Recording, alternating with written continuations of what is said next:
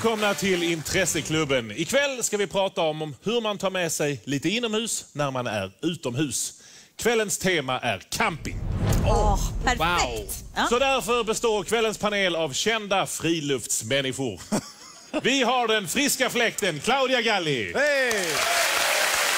Den ståtliga furan Hans Rosenfeldt. Ja. Västkustens pärla Annika Andersson.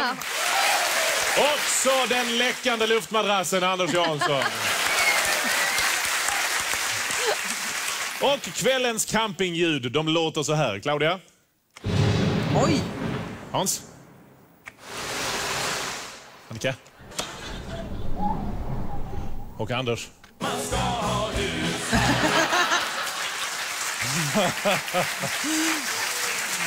ja, lyckas man leva efter Intresseklubbens regler så blir man belönad direkt. Man får en poäng för rätt svar, en poäng för ett intressant svar, som då inte alls behöver vara rätt. Men svarar man fel och dessutom förutsägbart, då straffas man med 10 minuspoäng. Mm. Vi kan ta ett exempel. Vi kan eh, prova lite grann bara för att se om det fungerar. Var sitter bläckfiskars hjärna? Oj. Bakom deras små, små huvuden. Sitter den inte i munnen, typ? Under här, du vet. Nej, Här. alltså om man, vi säger så här, om man, jag är ute efter att få ett svar som är fel. I huvudet? Ja, exakt! Där var det fel. Tack Anders. Jag tog den Alltså det minus var 10 nu. fel, jaha. Och för detta eh, fel och förutsägbara svar fick Anders 10 minus. Ja. Och det rätta svaret är att de har hjärnan utspridd i hela kroppen. Men gud så Ja. praktiskt. Ja. Jättebra. Ja. Okej, vår campingtur börjar nu och då undrar jag varför är det dumt att campa på ön Ilha de Quimada Grande? De, eh, de, har väl inte, har de, de har väl ingen fungerande postgång, så att man kan inte, man kan inte skicka vykort. Det är ju halva grejen. Nej, de har ingen fungerande postgång. Det, Nej. det är men jag- ju rätt, men det är inte det jag letar efter riktigt. Nej, men medge att det är dumt att campa på ställen där man inte kan kommunicera via det skrivna ordet. Ja, ja, exakt. Det är väldigt dumt. Nej, men jag tror att det är otrevligt för det sitter alltid en liten kärring och spelar dragspel utanför. Väldigt irriterande. Är detta en bild från ön Kimara Grande? Nej, men det finns någonting där som inte är så sympatiskt. En vulkan. Nej. Dåligt väder. En ful gubbe i skogen. Var det bra eller dåligt? dåligt. Både och.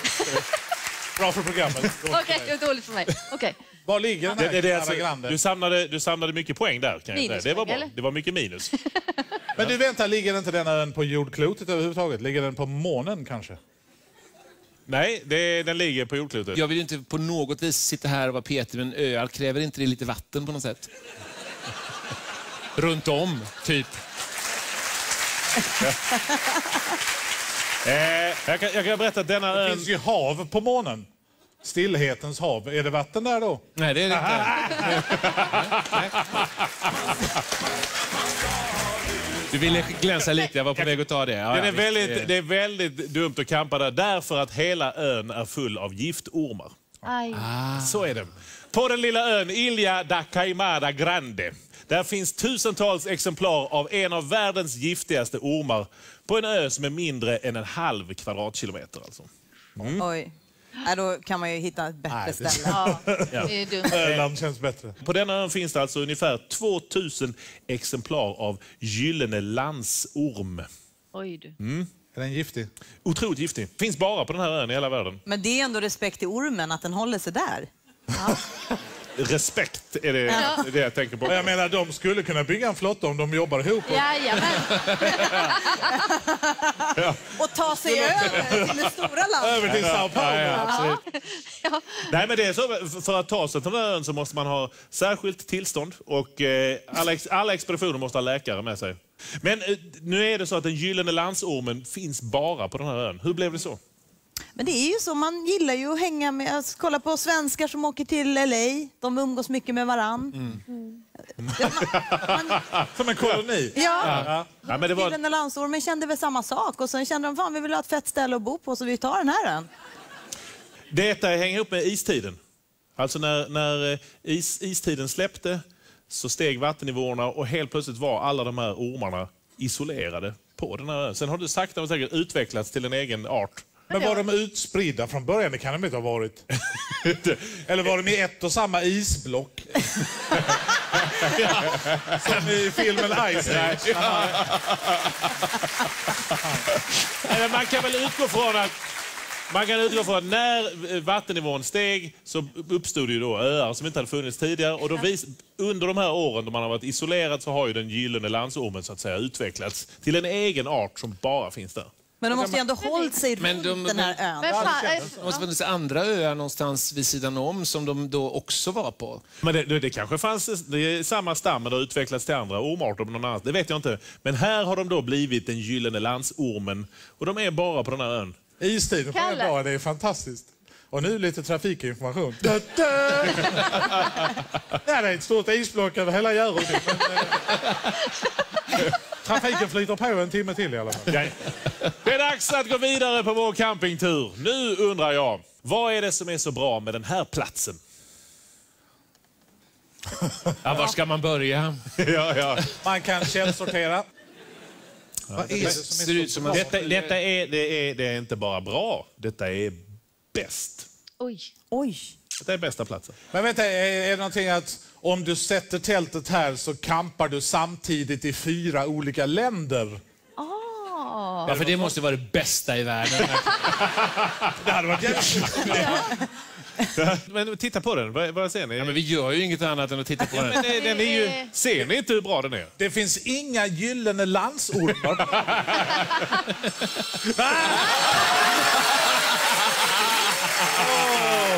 Man. Ah, vad trevligt! Nu kan vi gå vidare. Nej, det, detta, är, alltså, detta är verkligen det bästa. Det är utsett till det bästa. Detta är nämligen Sveriges bästa rastplats. Ja. Ja, Den kallas för Vojmån och ligger vid Vojmån strax utanför Vilhelmina. Den fick 865 poäng av maximalt 890 i Motormännens test och utsågs då till Sveriges bästa rastplats 2014. Vad hade man för kriterier när man valde? Liksom? Eh, man eh, betygsätts då i olika moment. Ja. Trafik och parkering. Uppenbart högsta poäng. Utvändig miljö. Ja. Ja, ja. Hemma. Personlig säkerhet. ja. Och Ja. toaletter. Ah, ja. Eh, vad ger då minuspoäng? Giftormar. Dålig, dålig belysning och hotfulla buskage. ger, eh, Oh, det har man sett några stycken. Det finns inget värre. eh, var någonstans eh, finns de sämsta rastplatserna? Det På. Stureplan. Nej, men det är, det är i Stockholms län. Är det. Ja, såklart. Är det? Den bästa eh, rastplatsen i Stockholm fick bara 392,5 poäng. det är de här kriminella hasselbuskarna som förstör för alla i Stockholmsområdet. Buxbomgänget. De är så otroligt hotfulla. Ja. Så är det. Stanna vid Vojmån. Du Ja. kommer inte att ångra dig. Vi tar nästa kontroll. Hur kan du orientera dig genom att titta på en hund?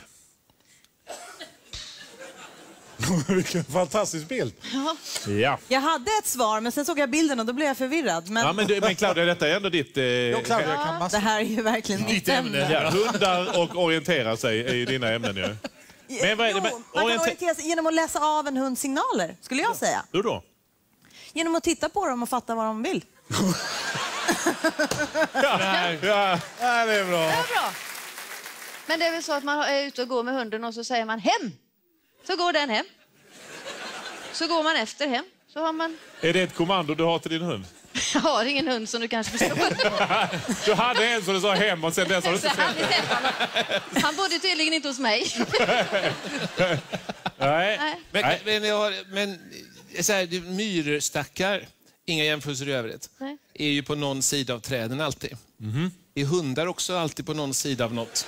Nej, men, eh, Ja, men jag funderar också på det. Är det att de, när de ligger ner, att de alltid ligger i syd-nordlig riktning? Eller?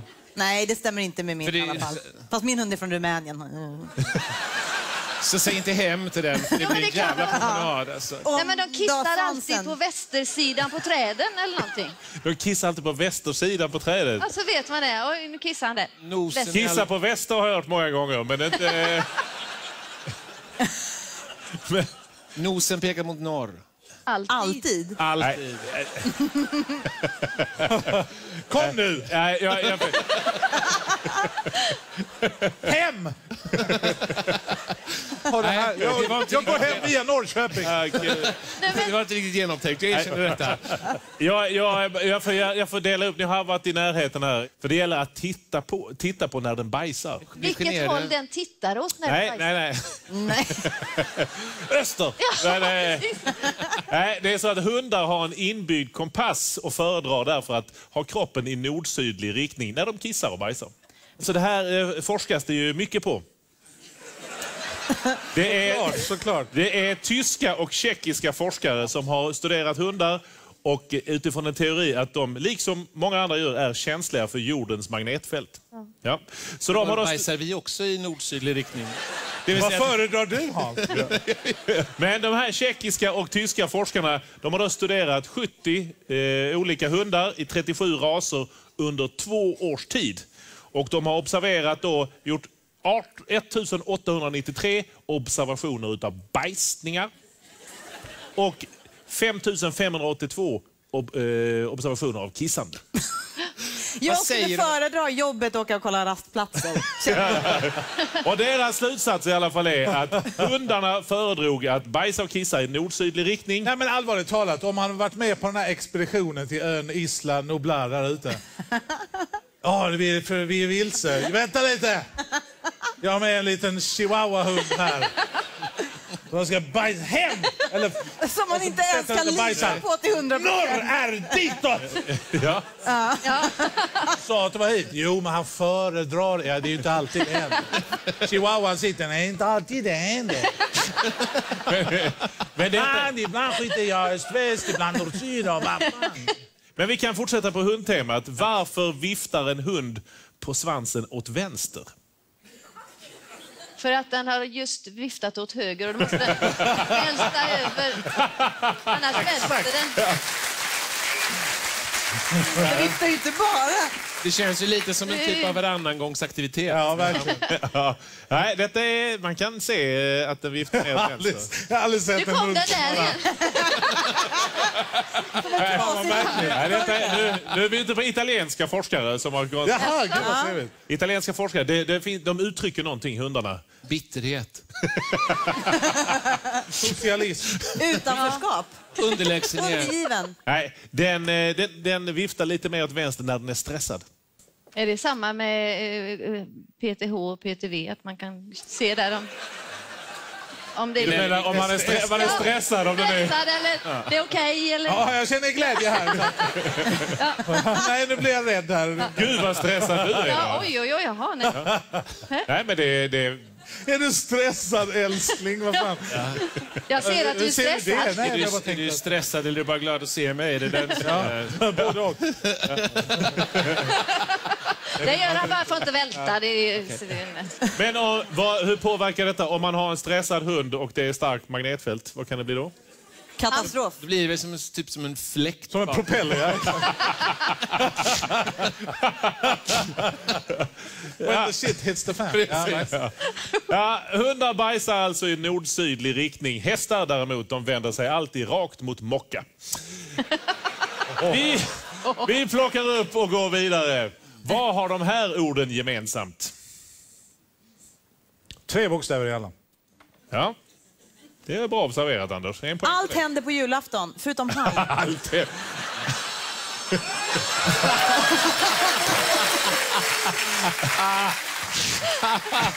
allt, allt vad är det för jävla jul ni firar? Vill jag bara, eh, Jag tänkte, hajen är väl det enda, men Det är efternamnet på sex stycken tjeckiska hockeybackar. Kulpass till jul, pass till haj, pass till kuk, pass till. Då kan man inte ha sex backar inne samtidigt, men ni fattar. Nej, men eh, tänk nu, det är camping-temat. eh, allt händer på en camping. Nej, nej, det, Haj, Nej, jul, jul är sorgligt om det händer på en camping. Medan hor känns helt jävla skönt. Det känns ju livet. det är bra. Är det som de sex Nej men orden vänta, det som här, det används oftast på. Ullared? Det här är förkortningar av eh, regler på campingen. Vad, och vad var du på? Nej, jag tänkte kulen, julen, laxen, horen, hajen, kuk. Tänkte du på dem? Ingenting. Är det, är det, alla, är, det- är det Ha- Hallands mindre floder? Ja, det är de små bäckarna. Det är de ord som, ord som, Viskan äta, som styr akkusativobjekt i det svenska språket. Nissan, kulan, lagan, laxen, kuken, hajen. Laxen. Och det är inga förkortningar av saker. Jo, det är det. Det är det. Jaha. Man kan lägga till A efter allt. Kula, jula, laxa, hora, haja, kuka. Ja, det var... Det var det jag försökte innan med er. Haja var ändå bäst. det. Det gick, men det var inte rätt. Det är skönt också när man förkortar ordet bara tar bort sista bokstaven, sen låter man resten vara. Ja. Nej, detta är... Men... ehm, Är det, vänta, är det förkortningen på berömda campingplatser? Nej, men på... Som på Arlanda? Vad sa du? Flygplatser. Det är helt rätt. Flygplatser är det. Ah! Los Angeles. Ja, eh, detta är alltså koder för olika flygplatser runt om i världen. Så det är helt rätt. Kan ni någon av dem? Los Angeles. Los. Angeles, Ja. ja. Det var den enda jag kunde. Kuala Lumpur kanske? Ja, Kuala Lumpur är på kul. Kuk är Arlanda. Nej, det, detta är Ka- Kasigluk i- på Alaska. Aha. Hur ofta är det folk flyger för att kampa? Kände du att vi gick ifrån temat lite? Jo, det är sant. Tänk camping sa du. Ja. Ja. Men ni är ju ganska öppna i sinnet ju. Förvisso. Ja, jag, bara, jag har ett litet sånt tänk, jag måste Ja. bara ruta in Ja. saker. Men absolut, Men vi jag kan hör- köra så. Jag har hört att du är en liten besserwisser. Så att det är, Tvångstankar kallar min terapeut det, men absolut. ja. Så är det. Det gäller att hålla reda på var man ska, annars kan man hamna i hor. Nu är frågan, varför ska du aldrig låsa bilen i Churchill? Alltså på Just det där precis sättet. där. Det där var jävligt schysst. Ja. Ehm, Alltså det, det är, vi kan säga att Churchill ligger i norra Kanada, vid Hudson Bay. Kan det vara olagligt att låsa sin bil? Nej, men det, det ses som, om man låser sin bil, det ses som väldigt dålig stil. Ja, men det, det att man svar? inte litar på andra då liksom. Nej, men det, men det är en praxis. Man lämnar sin bil och gärna hus också öppet. ja, just. Det är för att det plötsligt blir såna här eh, köldhål. Så att om det blir så plötsligt minus 40 så måste man kunna snabbt in och ta skydd för att inte frysa ihjäl. För bilar är ju väldigt varma och när man står exakt. på kylan. Vet du vad, jag har aldrig sagt att det funkade. Jag sa att det var tanken bakom. Nej, nej, men, det, nej, men man... Just, när det är minus 40 så är en Opel Kadett precis det bästa skyddet mot... Han vill ju gärna in i en sån. Häftigt regn då, över sig. alltså något sånt där, någon natursak som gör att man helt plötsligt måste kunna... Detta är Ja, men jag definitivt, någon har definitivt en så kallad natursak. Om vi använder den Björnar. termen. Eh, Vad sa du? djurbjörnar. Ja, Va? Ja. så är det. Det är rätt Anders. Ja, men det, det är nämligen för att eh, man skulle kunna behöva fly undan en isbjörn som kommer. Har de tränat isbjörnen att göra rattfyllekontroller? Det är... Jag ser. Hur var det här då? Körkort, registrering. Eh, I oktober och november varje år finns det fler isbjörnar än människor runt Churchill i norra Kanada. Därför lämnar folk sina bilar och hus olåsta så att det alltid ska finnas någonstans att ta skydd när det dyker upp en aggressiv isbjörn. Åh gud. Ja. Och en selfie. Han tog en selfie. Breaking and entering. Eh, isbjörnar de har alltså sommarboende inne i centrala eh, Kanadas inland. Och sen när då eh, hösten kommer och det börjar bli kallare så drar de sig till Hudson Bay. Där ska de ut på isen och jaga säl. Problemet är att det har inte frusit då. Eh, riktigt. Så då får de vänta tills, det, till isen har lagt sig. Och då blir det i närheten utav Churchill. Så då drar de runt där några veckor och eh, då är det ungefär 900 isbjörnar i ett samhälle av 800 personer. Nej men gud vad hemskt. Att... Jo då. Men det låter ju helt sjukt. Ja, det, inträ- det inträffar incidenter, men det är väldigt ovanligt med dödsolyckor. Eh, sen 1717 är det bara två personer som har dött. Men den senaste dödsolyckan var 1983. Då var det en eh, man från trakten som hade hittat en frysbox full med kött. Det var nämligen så att ett hotell där, Churchill Hotel, hade precis brunnit. Han eh, gick förbi, såg den här frysboxen, hittade köttet. Det var lite synd på köttet tänkte han. Så han stoppade på sig så mycket kött han kunde. Nej, nej. Fickorna fulla och isbjörnarna kan ju känna doften av mat på många kilometer. Så att... Eh, Han fick ju nästan skylla sig själv. eh, Bor de i det här samhället? de bor i hus. Inget konstigt med det. Nej. Nej, inte isbjörnar, nej, nej. Varför bor de kvar? Varför bor folket kvar? Ja, men detta är inget problem. Om man bara har lite öppna bilar och hus så är det inga Och inte gå med kött... Och ge fan i de här Lady Gaga-utstyrslarna eller och så här. Gå- Gud vad roligt om Lady Gagas enda Kanada-konsert var just... I november då ska vi spela i Churchill. Ja, tältar man i Churchill är det en bra idé att ta in på hotell. Vi fortsätter på vår campingtur. Varför är kaffe godare än te på Kebnekaises topp? För man bjuder te. Mår du illa? Nej. Nej. Det har någonting med vattnet att göra. Men är det, eller är det att det är så... det- kanske frigörs mer alltså kokpunkter och, och sånt där. Det, blir, det är en annan kokpunkt av vatten där eftersom det kommer upp så högt. Ja, men det är helt rätt. Oj. Det är så att tevattnet blir alltså inte tillräckligt varmt på Men, men blir det inte lika varmt som kaffe? Jo, men, eh, men teet påverkas mer än kaffet. Det ide- ideala temperaturen för te är alltså 100 grader svart te. Då. Eh, och den ideala temperaturen för kaffe är runt 90 grader. Men f- flygplan med tryckkabin har tryck motsvarande Kebnekaises topp. Så att vatten, tevatten på flygplan blir bara 90 grader. Och det Så innebär kaffet är godare på flygplanen än vad teet är? ett teet blir blaskigare och forskare på British Airways de säger att det för, man eh, förlorar 30 procent av smaken. Där ser man. Ja, det finns...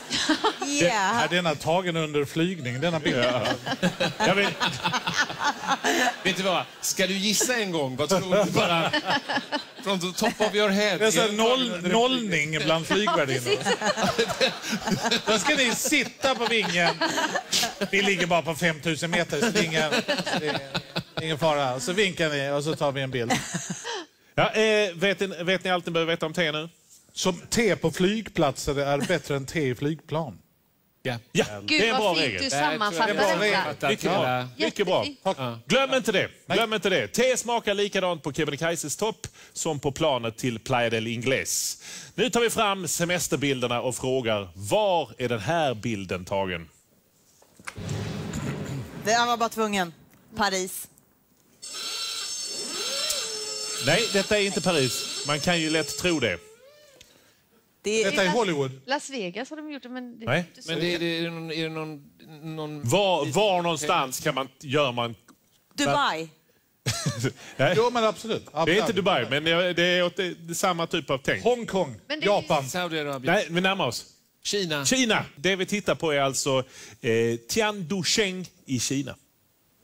I Kina finns det nämligen en hel mängd städer med arkitektur som är kopierad från all världens hörn.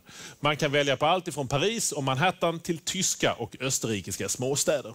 Nej, Vet de som bor i Tianjin ja. om att Paris finns på riktigt?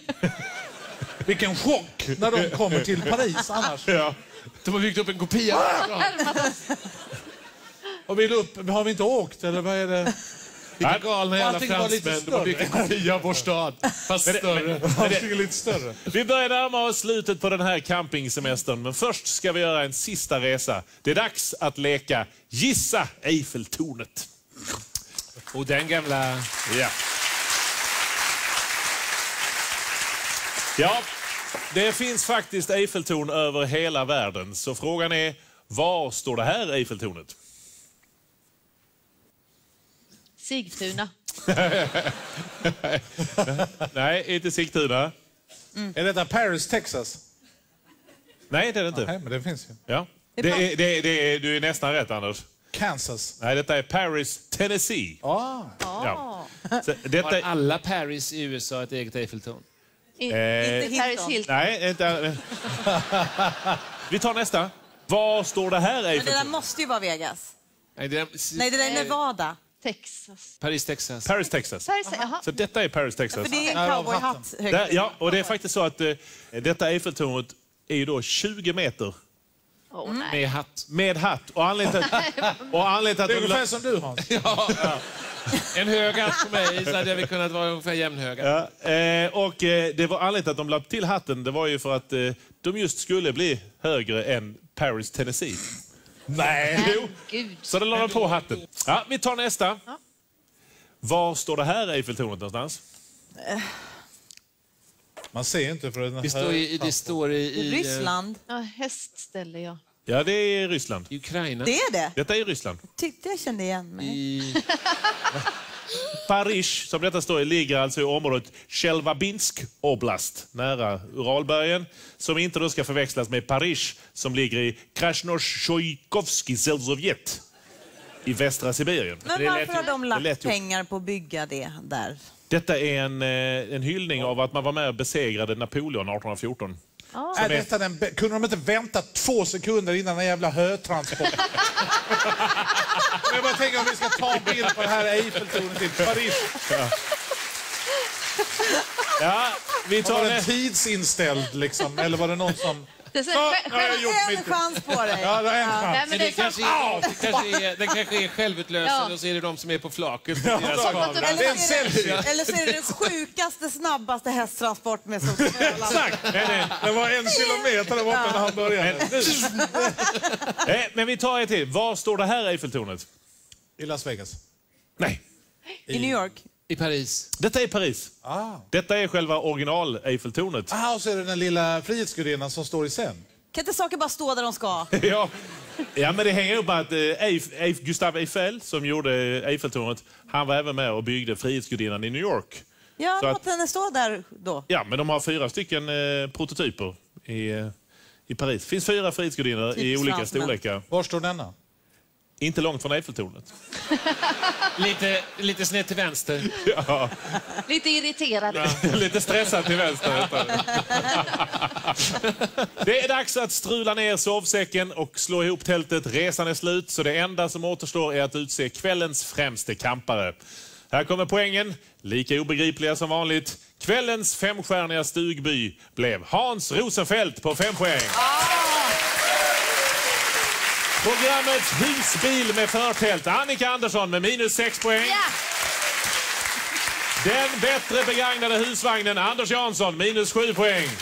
Vad fan! Och slutligen ett mögligt tält på E4, Claudia Galli. Minus 25 poäng. Vad fan, jag tog ju Ryssland! Ja, det var en pluspoäng det. Glöm inte att vi även finns på Facebook, Twitter och andra sociala medier. Och svt.se såklart.